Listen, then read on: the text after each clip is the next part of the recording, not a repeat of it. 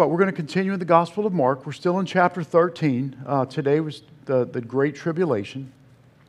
But I want to start, I want to share a little story But, you know, my mom had an old cast iron skillet. I told y'all that I grew up in deep South Louisiana along the bayous, and, and there were swamps on one side and bayou and sugarcane fields on the other. And, and my mom cooked. She stayed at home and raised seven wild, wild kids. And, but she had this cast iron skillet. And she'd say, This pan can do it all.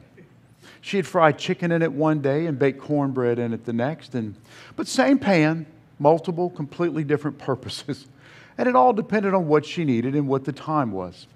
And you know, as I was, I was praying over the message today, and, and the skillet reminds me of how God's word often works. Like one prophecy, one message, but it can fulfill multiple purposes in different times of history. We're going to talk a bit about today about, about the dual fulfillment of words of prophecy from the Old Testament, how they apply back then, how they apply now, and how they'll be applied uh, come the time of tribulation. But it was, it was a time for me just to kind of reflect on, on my mom, I guess with, with Thanksgiving coming around. But uh, I do remember that skillet. so, you know, God's word is timeless. And it not only applies to his followers in the early church, but it speaks directly to us today. Now, as for that skillet, I don't know where it is, but I'm sure it's still frying up something somewhere. You know, the one thing that the Lord wanted me to talk to you today was not about fried chicken, but it's if you stay ready, you will not have to get ready. Come on, come on. Are we in the end of times? We are. Every second that ticks by, we're one second closer to the end of time. And for believers, that should be good news. You see, Jesus is not giving all this information in very specific detail to scare you. He's telling you this to prepare you. So, again, I will challenge you to steward the scripture wisely. Don't just take it as a novelty or a check off to read through your annual Bible reading. Take it, receive it, live it, use it as the field training guide that it is. So if we can stand together and let's get some, some good training guide information. This is part of our anchor scripture for today. And it comes from Mark 13, 14, 19. It's the Great Tribulation. So let's begin to read as the body. So when you see the abomination of desolation spoken of by Daniel the prophet standing where it ought not, let the reader understand then let those who are in Judea flee to the mountains. Let him who is on the housetop not go down into the house, nor enter to take anything out of the house. And let him who is in the field not go back to get his clothes. But woe to those who are pregnant and to those who are nursing babies in those days. And pray that your flight may not be in winter for in those days there will be tribulation, such as not been seen since the beginning of the creation which God created until this time, nor ever shall be. Amen. Thank you, Lord, for that word. Thank you, Lord, for that word. So, I want to talk biblical prophecy and dual fulfillment.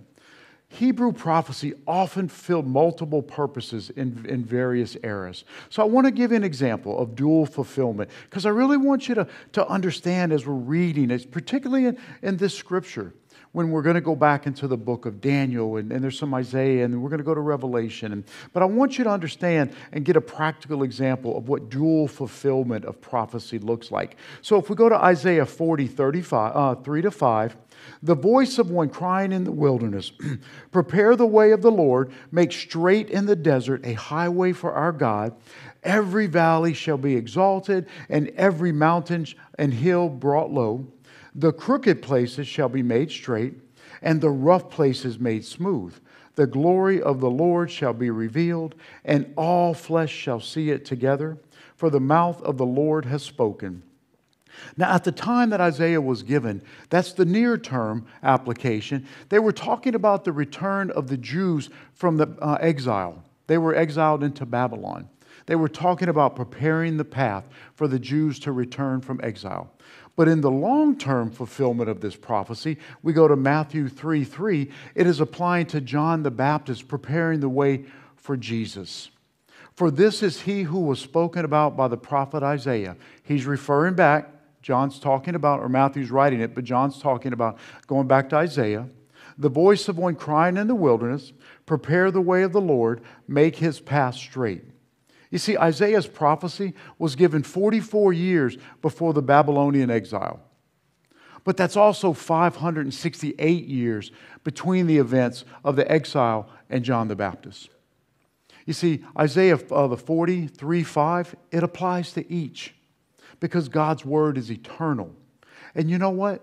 It also applies to you today. Amen. What I will tell you is that God can and will make your crooked places straight, and He will make the rough places smooth if you'll let Him. So Jesus gives us clear signs to a clear end and a new beginning. Last week we talked, we were still in the, uh, and, and we're going to stay in Mark, but we're in chapter 13, 7 through 13. And he's given his disciples the signs that are going to lead towards the end of times. What's leading to the end? Like, what do we look for? What do we see? You see, they were basically regular occurrences that we have today. But what he's telling them is as the end approaches, he, he likens it to birth pains what's going to happen is the, the frequency and the intensity is going to increase. It's almost going to get to a point where just living life is almost unbearable. So, according to Jesus' prophetic instructions last week, uh, these are some of the signs that are only the beginning. These are the deceptions. I think you got to back up one. These are the signs. When we start to see these, this is just the beginning. I know we hear about a war, we see an earthquake happen somewhere. Well, it's the end. It's the end. It's not the end. It's just the beginning. These are the beginning signs. Now, then he goes in and he talks about then these are the birth pains. This is when we go from the beginning and things are getting a little escalated, they're getting a little elevated. There's going to be arrests that happen and beatings in, the, in their synagogues or in the churches. There's going to be fake court trials. Increased evangelism because Jesus tells us that the gospel must be taught to every nation. And I just want to, as you look at these instances, are these things happening today?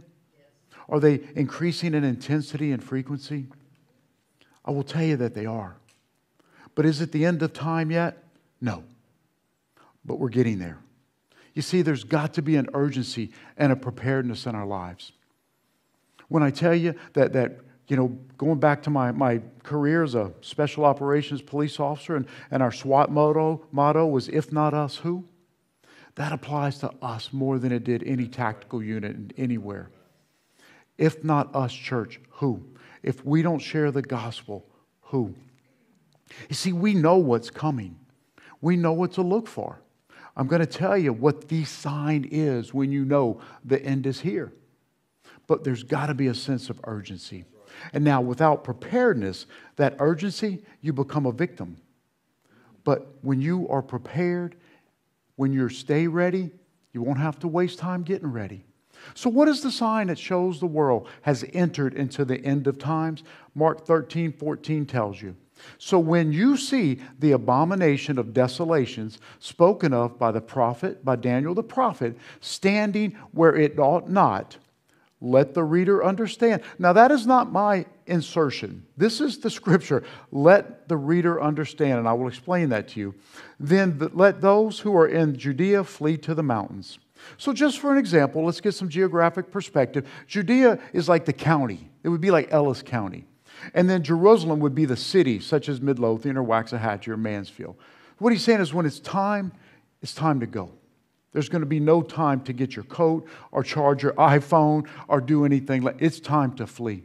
You see, the abomination of desolation, it signals the end. That's it. Like, what are the other signs? No, there's no more signs. Like, this is it. This is the tribulation. So, what is the abomination of desolation? Well, in the Hebrew, it talks about the detestable things of desolation. It is something devastated by sin and idolatry. It could be a person or a thing or an event. And it defiles a holy place so wickedly that it causes it to be abandoned. Like God absolutely detests it. So, what are some facts that we know about the abomination of desolation? Uh, if you'll just leave that up there so we can reference this. We know, based on Scripture, it's something tangible. So, how do we know that? Because Scripture says, to be seen. We know the prophet Daniel spoke about it. Why? Because Jesus himself referenced the prophet Daniel. What else do we know? It'll stand where it should not be. Stand is tangible. Remember in the scripture when it talks about standing in a place, it is the establishment of something physical and governmental and structural. And where is this going to stand? Where? Where it shouldn't be. So when scripture says, let the reader understand, what I want you to see is Jesus is talking to his disciples, but this was not for the disciples to see. You see, this was meant for, for later generations. Us, we're the readers, they were the eyewitnesses. So when Jesus, when, it, when the scripture says, let the reader understand, this is letting the disciples know you are not going to see this in your lifetime. This is for us, people like us, the readers now. It was meant for later generations. And then when it's seen, it's time to escape. So, just so we're clear, because the last couple of weeks we've been talking a bit about the signs leading up. How do we know? And those are the signs. Now you know. And it's not going to be hard to see because it's tangible, because it's present, because it's been identified and you'll know it's time to flee. So when Jesus says, references the Old Testament uh, prophet uh, Daniel, the scripture that he's specifically speaking to is Daniel 9 27. Then he shall confirm a covenant with many for one week, but in the middle of the week he shall bring an end to sacrifice and offering. And on the wing of abominations shall be the one who makes desolate, even until the consummation which is determined is poured out on the desolate. You're like, that's heavy. I'm like, yeah, that's good information. So I want to walk this out. This is another end time prophecy that has dual fulfillment. You see, when, it, when the scripture, Daniel was talking about, then he, he's talking about the Antichrist. Like, take off the mask. Like, remember we were all, when we watched Scooby Doo at the end, and he pulled the mask off. I knew it was you. I never figured it out. Uh, I'd have to have my parents explain that stuff. But what I want you to know is I don't want there to be any misunderstanding. When he's talking about he, we're talking about the Antichrist now. Okay? I want you to be super clear. He shall confirm a covenant for many, with many for one week. He is the Antichrist. He's going to make an agreement. One week in the Hebrew is Shavua. It means a period of seven years. So when it says one week, we're talking a covenant for seven years. When it says confirm in the Hebrew, it's higbrid. It means a strong or strong enforcing. Something that's going to be like a, a Middle East peace agreement. The Antichrist is going to come in, in, in this power that's given to him, the satanic power. But he's going to, he's going to broker this, could be a Middle East peace agreement. That's going to be very welcome. And for seven years is going to be the agreement. But it says, but in the middle of the week. So if we know that a week in the Hebrew is seven years, we know the middle is what? Three and a half years. We also know this because we go back to Daniel 12 11. And Daniel tells us, and from that time that the daily sacrifice is taken away, and the abomination of desolation is set up, there shall be 1,290 days. Now, I'm no mathematician, but I've got a calculator. And what that adds up to is three and a half years. Well, I will also, we've talked about the three schools of thought for tribulation pre trib, mid trib, post trib. This is one of the foundational scriptures when, when, for the mid trib team.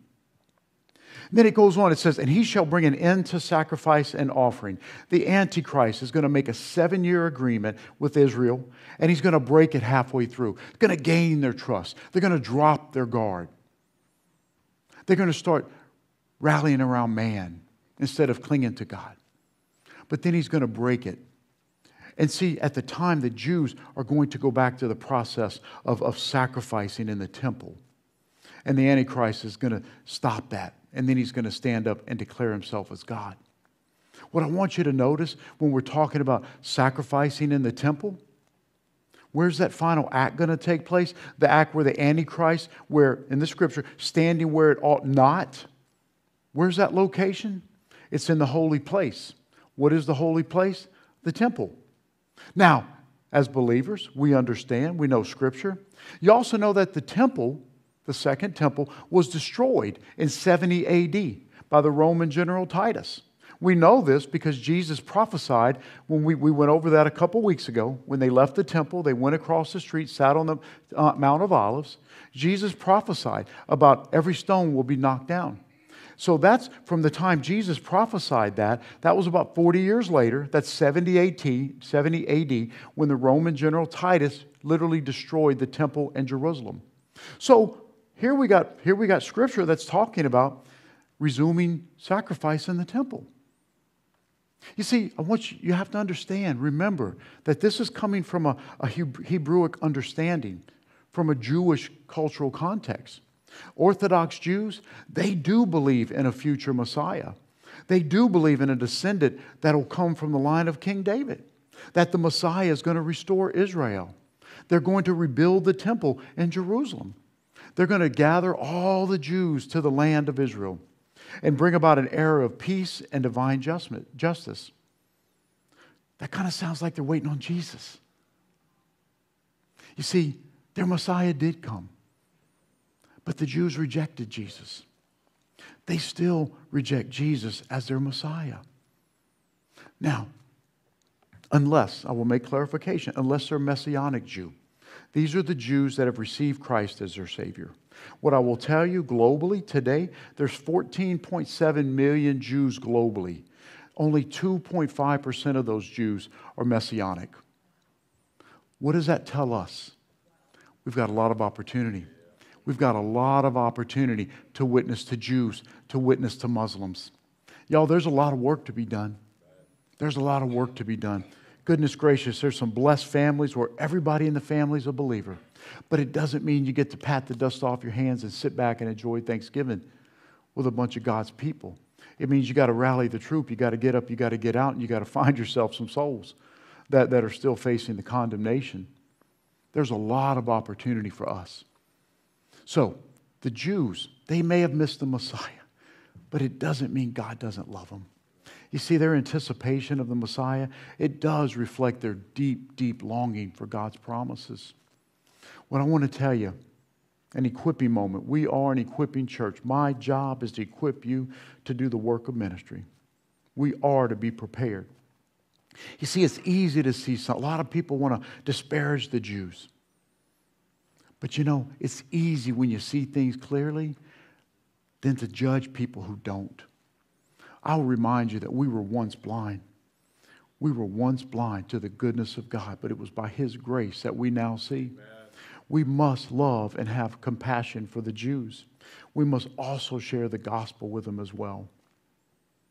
You see, the Jews are still waiting for the, for the temple to be rebuilt. And you're like, well, why are they doing that?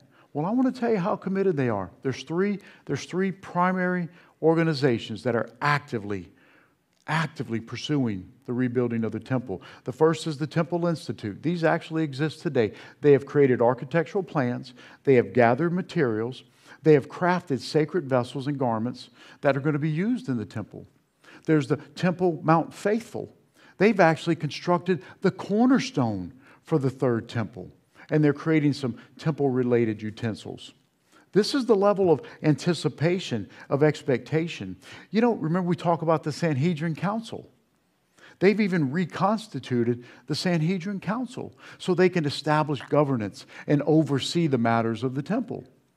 So we're not talking about people with a pie in the sky, head in the clouds type of wish and a hope. This is actively today going on.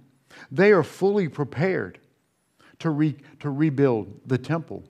Now, there's a couple issues. There's a couple issues with rebuilding the temple. Number one, as we know, we know God no longer resides there. How do we know this? Because Matthew 27 and the Synoptic Gospels all tell the same account. And Jesus cried out again with a loud voice and yielded up his spirit. Then behold, the veil of the temple was torn in two from top to bottom, and the earth quaked and the rocks were split. You see, when that veil separated the Holy of Holies, which is the most sacred part of the temple where God's presence was believed to dwell, what it did was it, it, it represented a new way of approaching God, no longer restricted by location or temple rituals. We also know that Scripture confirms in 1 Corinthians, and this is for you, this is for us. Do you not know that you are the temple of God. You are the temple of God. You know, we talk about the believer's authority. Let that authority begin here, understanding and receiving that you are the temple of God. This is how special you are. You are the temple of God, and that the Spirit of God dwells in you. The sick, not even the second, the instant you receive Christ as your Savior and Lord, the Holy Spirit indwells within you. You were no longer just human. You are supernatural by the indwelling of the supernatural God. If anyone defiles the temple of God, God will destroy him. For the temple of God is holy, which, which temple you are. This is one of the issues with rebuilding a physical temple. Go a little further in 1 Corinthians 6. Or do you not know that your body is the temple of the Holy Spirit who is in you, whom you have from God, and you were not your own? So many people, right? I'm going to do what I want to do. You can do that. Or you can do it God's way. Because you are no longer your own. You have been entrusted with the indwelling of the supernatural Holy Spirit. For you were bought at a price. Therefore, glorify God in your body and in your spirit, which are God's. You see, that's some of the issues that, that they have with creating a third temple. Now, there's a, there's a bigger issue, and I'm glad that, that Lisa even alluded to the, the Muslim dilemma. You see, also the location where the second temple was, uh, the proposed site of the third temple, it's actually under Muslim control. You see, it's the Al Aqsa Mosque and the Dome of the Rock. I know you've seen these pictures. This sits in the Holy City. These are the two of the most significant structures located in Old Jerusalem. The entire city, the entire area came under Muslim control in 637 AD when, when the Muslims took it away from the Byzantine Empire. And I will tell you that they're not just going to hand it over to one of these organizations. Islam claimed this spot, which is where they say that the Prophet Muhammad ascended to heaven. So these are some of the issues that, that you're looking at with the reconstruction of a third temple. And it's important because the more you know, the more you know about Scripture and what's going on in the world, you can see the, the, the challenge. It's not just as easy as saying, well, well, the Antichrist is just going to start, they're, they're going to start redoing sacrifices in the temple. You got to go a little further. What temple? That temple. You start looking at what Scripture says. As believers, we understand that temple, that's us. We are that temple. It's important for you to know the facts, it's important for you to know Scripture. You see, the more scripture you know, the more you're aware of the dynamics that lead to the end times. Daniel 9 27 tells you, And he shall bring an end to sacrifice and offering, and on the wing of abominations shall be one who makes desolate. The wing of abominations in the Hebrew, it implies something vile and sacrilegious that's spreading out. It's growing and it's invading the culture like, like leaven. And I will tell you, you look at this world and you tell me if you've noticed anything that's vile and sacrilegious and is spreading across this globe. You got to be aware of what's going on. Even the Muslim religion, it is diabolically opposed to Christianity. We're going to talk more about this next week. But the, the woke movement and all these other things, liquid genders and, and, and multiple. Y'all, we've got to stand to the eternal word of God. There's a standard that's been set. We've got to cling to the standard. Otherwise, it will, these wing of abominations, it's going to continue to spread. We've got to hold the standard. You see, the prophecy is connected to even previous uh, verses in the book of Daniel. We'll go to Daniel 11 31. And forces shall be mustered by him this is the Antichrist. And they shall defy the sanctuary fortress. Then they shall take away the daily sacrifices and place where the abomination of, de- uh, of desolation. You see, that was for the time. In the long term nature of prophecy, we're also talking about, about uh, Mark 13, 14, standing where it ought not. This is moving towards the end of times. Jesus has given us very detailed information. You see, God's word, it's not a random collection of stories. So, well, that's a coincidence. How he knew that was going to be three and a half years. How they knew that was going to be. God's word is your past and your present and your future. I'm just encouraging you to learn from it. I want to encourage you to. We stay in Daniel 9 27 that God's, there's God's sovereignty in all things. And you might think, man, that sounds terrible, the desolation of abomination and, and all these things. And Daniel 9 27 tells us, but until that time, he will continue to desecrate all that is holy even until the consummation, which is determined, is poured out on the desolate. Now, what that's talking about, the consummation, is the destruction, the completion, or the failing of. In His timing, God will pour out His final judgment, His wrath on His enemies, which are the desolate. And these are the signs of the end of their evil actions.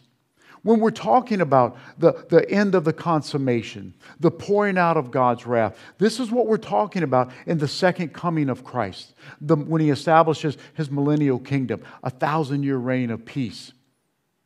God doesn't just take his hand off but there's, but there's signs and there's times and there's actions that are going to occur. And God is telling us what's going to happen. God is encouraging us to be aware of what's happening. So we'll continue. So when you see the abomination of desolations, and, and then Mark 13, 15, 18 says, Let him who is on the rooftop not go down into the house, nor enter to take anything out of his house. And let him who is in the field not go back to get his clothes. But woe to those who are pregnant and to those who are nursing babies in those days, and pray that your flight may not be in winter. Like Jesus is warning the disciples that everything experienced prior to the abomination of desolation is not even going to compare to what's about to happen next. I mean, he gives literal instructions in Mark 13, 14 flee to the mountains. Flee to the mountains. Now, in those times, the mountains were where you fought war, where you fought your battles. You had an elevated position, you had a hard position. It was a good position if you're going to fight battles, if you're going to fight war. You want to be up top, looking down with, with hardened conditions. This is what Jesus is talking about. You see, people have got to be ready to take swift and decisive actions to escape the horror. And I know you're like, man, this is a this is a tough message. We got to go to lunch after this. But it's not to scare you, it's to prepare you. It's to embolden you and give you a sense of what's coming, give you a sense of urgency. I want you to even think about people that, that you've not shared the gospel to, people that the Lord's put in your place and given you a prophetic word to give, and you're like, mm, no. What they to think about me? How about we stop thinking about what people are going to be thinking about us and we start realizing the reality of what's going to happen? You see, this is another dual purpose prophecy that I want you to, I want you to understand. It would also apply a few decades later when Jesus is talking about run to the hills, like run to the hills. When he, Jesus prophesied that when he was sitting on the Mount of Olives, remember it was about 40 years later, uh, 70 AD, when Rome came in and they destroyed the temple. This is what Jesus was talking about in the near term. Y'all, in about 40 years, you're going to want to run to the hills. This is what he's talking about come the end of times. It's now been a couple thousand years. Still the same prophecy, still the same word, still the same calling to be prepared. You see, it's going to apply at some point in the future. And every second we pass by, we're one second closer to that moment. It's going to apply as the end times begin. And so here we are. Now I, we know that this is tribulation. When's the end time going to happen? Jesus told us. When it comes to the abomination of desolation, this is when the Antichrist establishes himself and sets himself up in the temple. This is the tribulation. This is when it begins. You see, what I want to share also is we're going to stop here today. We're going to stop at this point before we go one sentence further into the, into the scripture. It's so important that we understand this tribulation period, that we understand the rapture, the resurrection, everything that's going to happen at this point. That I want to take next Sunday to totally devote to understanding the tribulation. I know today was kind of dark and it was kind of ah. But you know, a good warrior fully understands their opponent, they understand their enemy. It's important to understand what we're facing, what we're looking at, and what we're moving towards. It's important that you get such a sense of, secu- um, of, of severity that we're no longer lethargic about our faith. That we're no longer, ah, church starts at 10.30, we can get there about 10.45. We'll still make it in time to, to pray and go to lunch. Like we've got to be raised up as a warrior culture. We've got to stop being so soft and tame about our faith. This is coming. If you believe the Bible, if you believe one line in Scripture, you've got to believe the whole thing. It is not a salad bar. It is not to be picked and choose what you like and discarded what you don't. These times are coming. But we know how it ends. We know how it ends.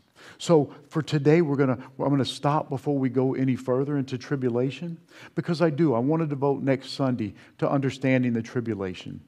And I want to, I want to plant this seed. And I want you to think about this and meditate over this uh, over the next week. This comes from Mark 13, 19. Such has not been seen, uh, has not been since the beginning of creation, which God created until this time, nor ever shall be.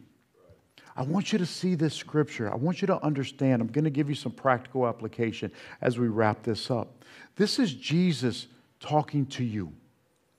This is Jesus talking to you.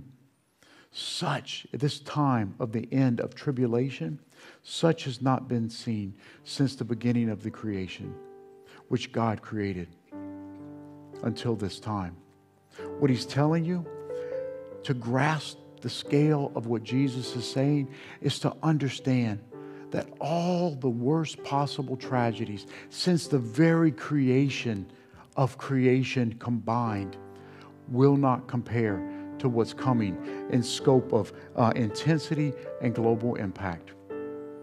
I do. I want you to I want you to leave with a sense of seriousness about what we're talking about. And you know, we're locked in, we're sealed. Our salvation is good if you've received Jesus Christ as your Savior. But there's so many more that are not.